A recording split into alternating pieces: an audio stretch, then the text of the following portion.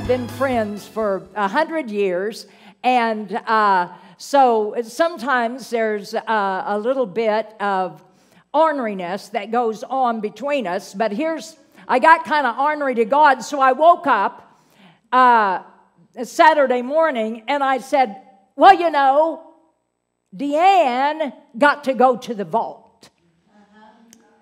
And I, I, I didn't, I don't even see no, I, she told me about it, and I, I am, um, I, I can see things, and so as she told it to me, I could see the vault, I could see the deal, and uh, but you know, it wasn't, it wasn't my experience, and so I said, God, can I go into the vault? Here's what happened. I haven't even told Deanne this. I asked to go to the vault, and he, no, no, no, no. And so here, here's what happened.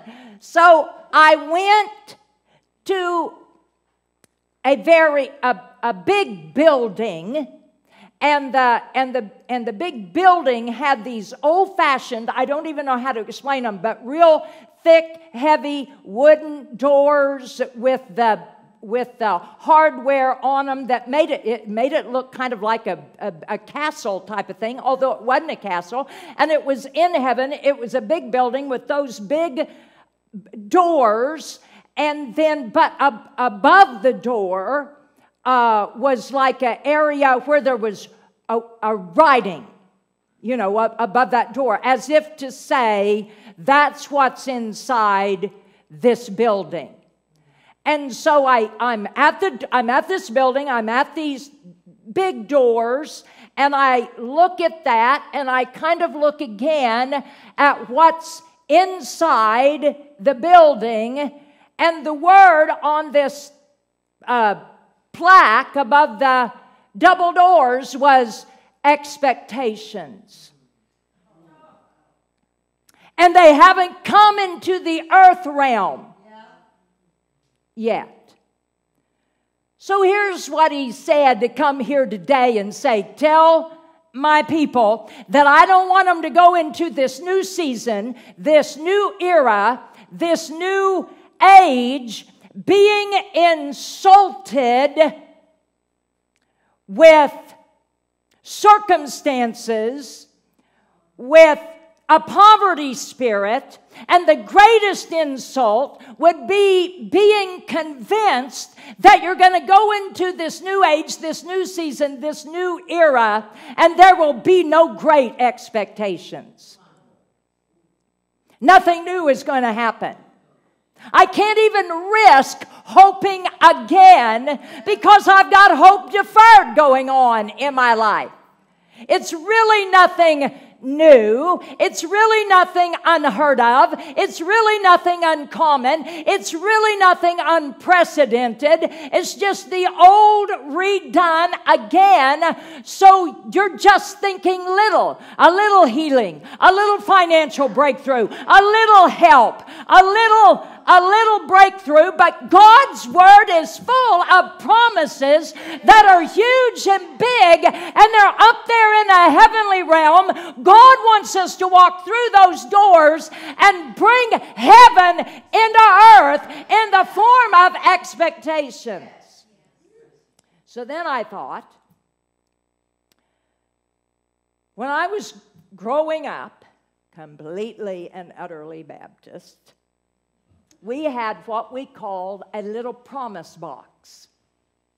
And it looked like a loaf of bread, because after all, Bread of life. Bread of life. Bread and of there life. was the little promises, and they were. Do you know what I'm talking about? Yeah. I, they just called it one. a promise. Yeah, we all had. Even one. as Episcopalians. And uh, so we had one, and, and sometimes it was on the kitchen table, and sometimes it was on the, the counter there. And so here's what would happen. I just remember that we would just randomly draw one of the, we'd take turns randomly draw those out.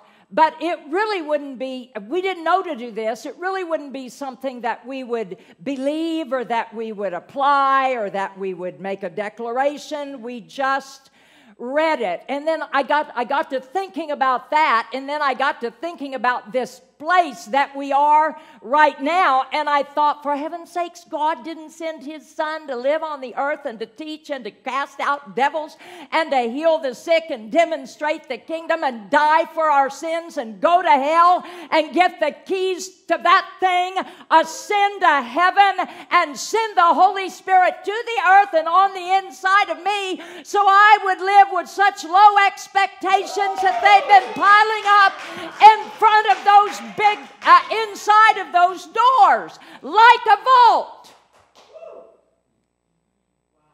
No. Jesus, now uh, uh, this is happening to me in my room yesterday. No, Jesus came so we could live every day in some kind of life changing power and joy and peace and prosperity and be where we're recreating yes. With Him. So, do we expect that? Remember, expectations is up there on that big building. Big building, big doors. Shut. That's what's in there. So, how in the world do we get those the doors open? I just felt like if we could get the doors open to these big, great expectations. And here's what God says yesterday. When your vision is lifted, when your vision is lifted, see, that's what happened to Deanne. She's sitting in there. She's prayed for the government as long as I've known her. When your vision gets lifted, listen to me, expectations are shifted from heaven to earth. When your vision is lifted, expectations are shifted. When your vision is lifted, so here's what I do because I'm just a word bird, so I go to Acts chapter 3. Listen to it. Now, Peter and John went to the temple at the hour of prayer, and a certain man, say certain man, certain man. a certain man, lame from his mother's womb was carried daily to the temple gate to ask alms of those that was going to enter the temple who seeing peter and john ask alms of them peter looking at this man said look at us. And he gave and the man gave heed to them. He looked at them expecting say expecting he did expect to receive something of them. Listen i'm telling you our expect our expectations are going to bring something new on us. So new on us, we cannot even believe. He had no idea. He was lame from birth. It wasn't even his own fault. He is, he is born into this. He's born into the addiction. He's born into the abuse. He's born into that physical malady. And yet, the expectation that he had was that he would get a little bit of money so he would have food for that evening. He had no idea what was going to happen. But two vision lifters showed up on his path. Then Peter said, Silver and gold have I none, but such I ha- as I have give I thee in the name of Jesus Christ of Nazareth, and walked. And then his faith, Joe, his faith took that lame man.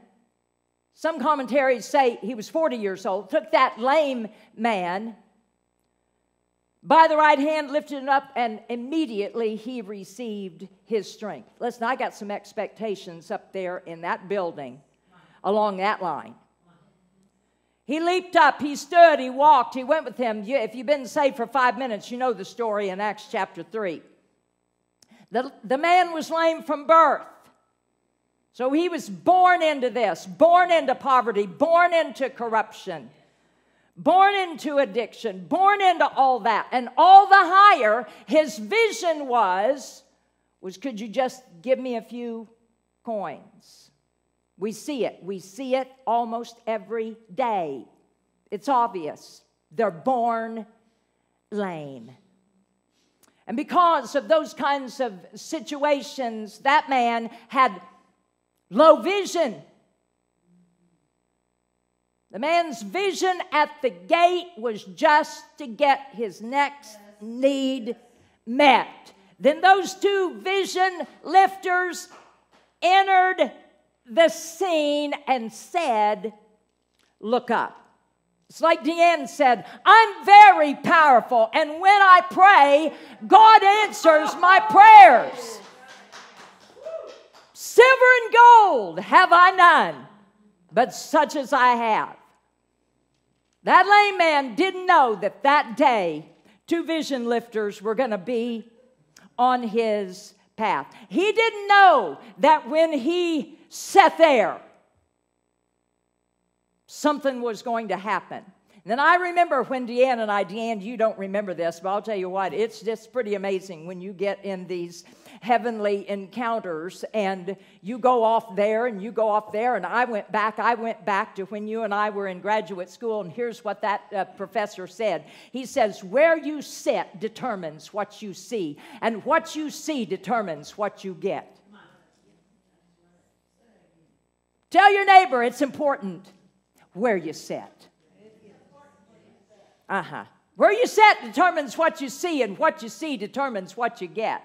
And if you're not sitting in the right place of vision lifters, mm-hmm, perhaps you should move. The Acts 3 man was radically, radically changed forever from his birth because of where he sat. It's important where we sat. I'm not just talking about church because you know what? You can sit in front of your computer, you can sit in front of your phone, you can sit in front of the TV. There's so many places you can sit. And I'll just add addendum to what Deanne said. Before Jesus, they went to the temple. But after Jesus, they were the temple. Do you get what I'm saying? That man didn't have to go to the temple to get healed. the vision lifters met him on the outside. Listen, you and I don't have to go very far to find some lame people, if you know what I'm saying. And we can lift their vision. Expectation this is why I believe that building up there had that, that sign on it. Expectation determines manifestation. So we need to, we need to, for our personal self, we need to put ourselves in the path of vision lifters. I think that's what you're saying, Joe, that when you showed up here three years ago, and even though it was so different from what you were used to, or perhaps something was being presented that you did not understand or you did not get. You, you were placing yourself, you didn't know it at the time, in the path of vision lifters because your vision got lifted over those three years so that you could stand here this morning and give the word of the Lord. So say this with me. I said in the presence of vision lifters. I will stand up in places that I have never stood before. I will walk and leap and praise God. I am a vision lifter. I will help people see beyond their lame circumstances.